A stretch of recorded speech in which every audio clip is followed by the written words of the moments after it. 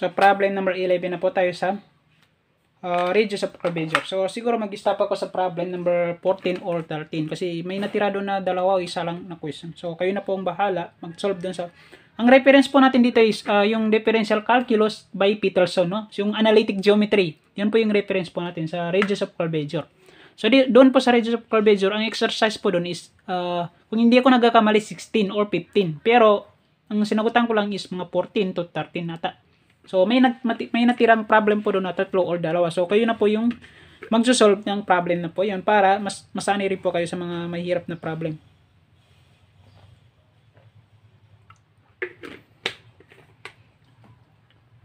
So, ngayon, kukunin po natin yung derivatives nito. So, which is yung parametric.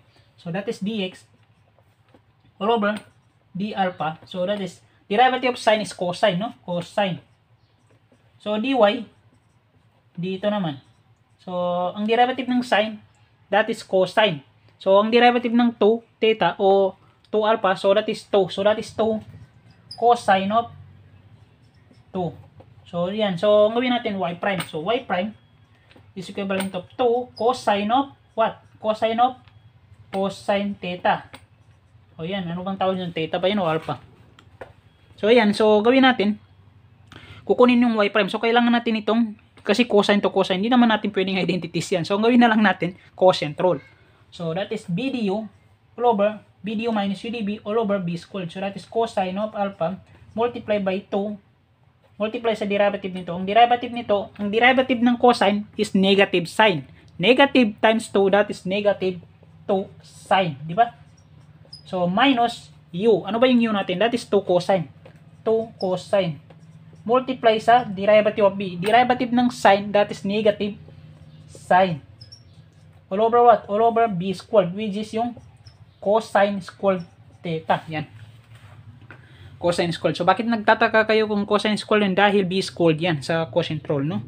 So, gawin natin, simplify po natin. So, that is negative 2 times sine. Sana ba yun? Sana ba tayo? So, that is negative 2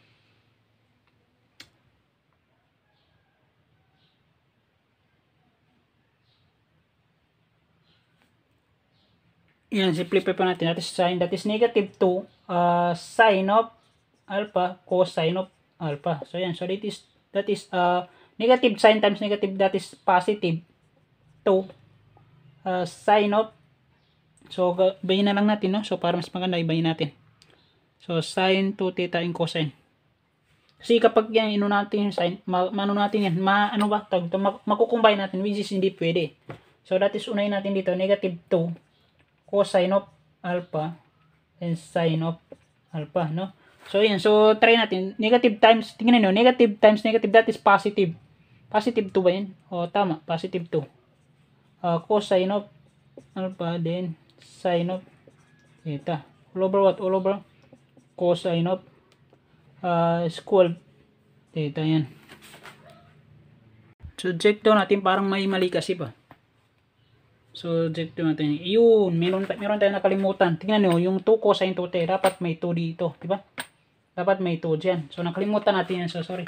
So, kung nakalimutan natin yan, mali dito. So, ulitin natin. Kaya palang dataka ako. Magka-cancel kasi ma-zero. So, hindi pwede yung 0 yan.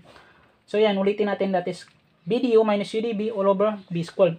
So, that is B uh, alpha. So, alpha naman, no? So, times derivative of this. Ano ba derivative nito?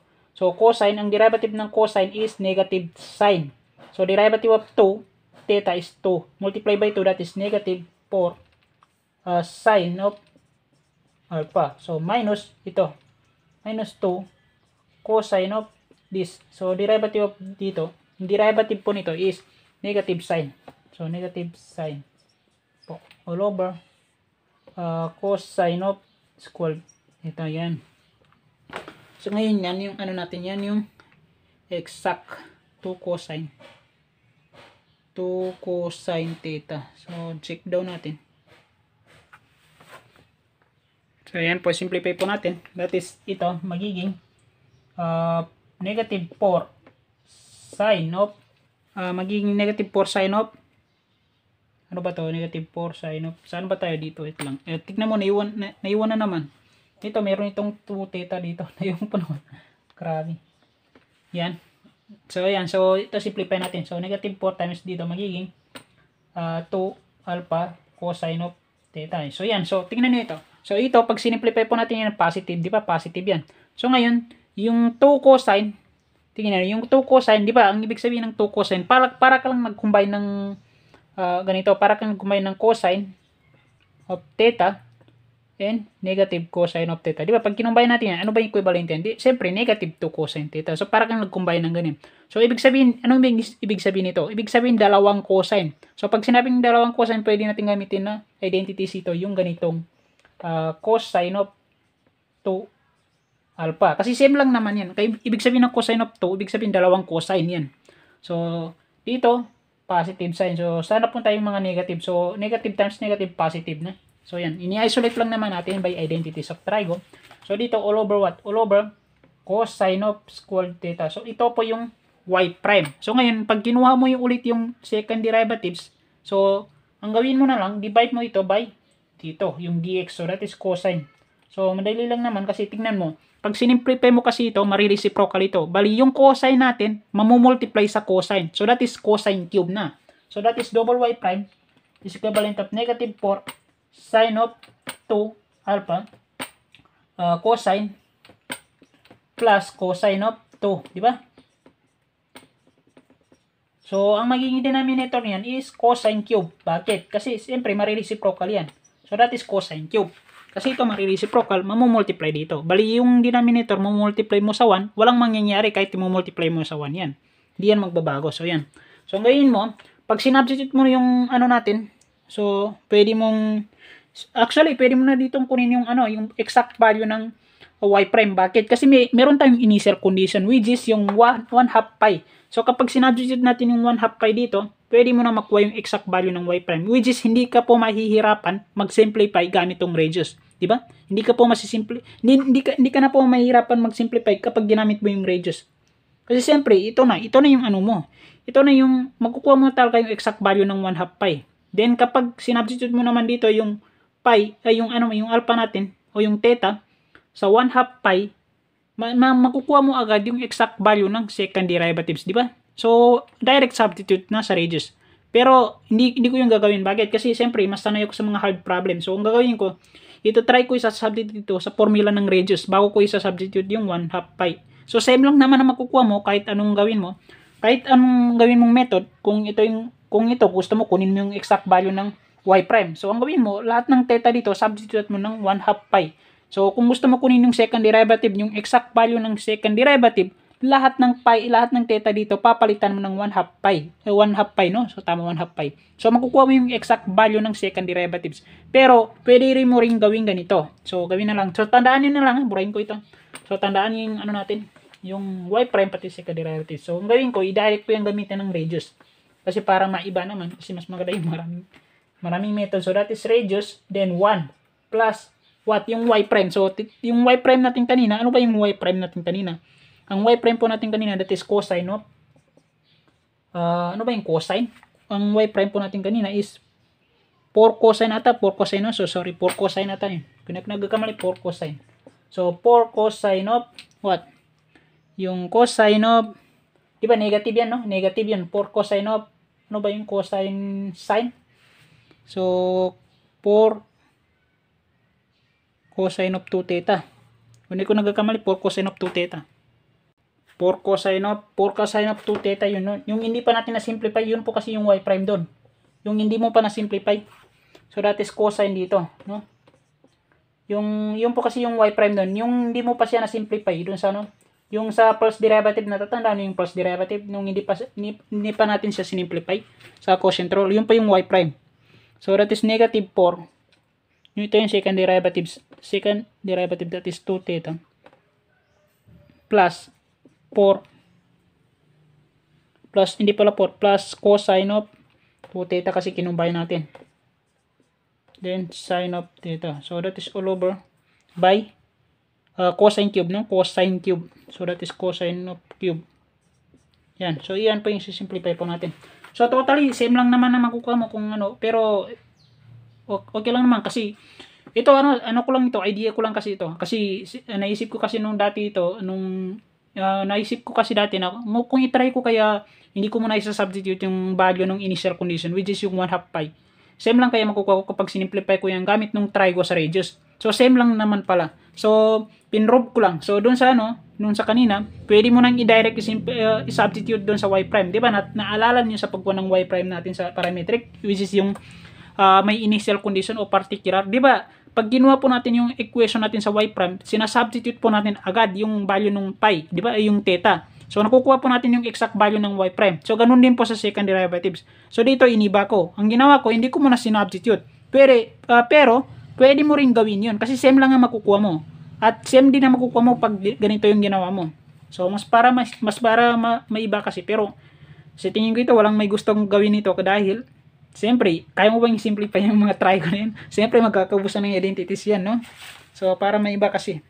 So, ayan. So, simplify po natin, that is radius, is ito, magiging ano ito siya, magiging uh, cosine, cosine cube, asa, sa, sana ba tayo dito? So, ito, ito cosine squared kasi is, ano mo yan, simplify mo yan by quantity. So, ngayon, pag sinimplify mo yan by quantity, cosine to the power of 2, that is cosine squared. So, gawin mong single fraction. So, cosine squared times 1, that is cosine of squared theta, no? So, magiging cosine of theta. So, ito, wala, wala tayong problema rito. So, gawin mo lang quantity yan. Yung 2. So, that is positive 4. Kasi tignan mo, di ba negative yan?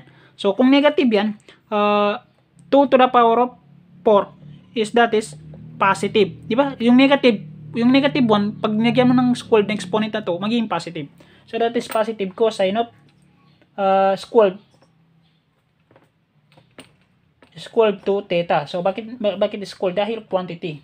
So, all over what? All over cosine of So, cube. So, madali lang yun kasi ito. Tingnan mo, yung negative 4. So, negative 4. Negative 4 sine of 2 theta plus cosine of 2 theta sine of theta. So, ngayon, all over natin sa cosine of uh, cube, no? So, yan. So, ang gawin na, ang gawin na lang natin is uh, distribute, no? So, that is cosine of cube. cosine of cube, sana ba? Sana ba tayo? magiging cosine squared yan.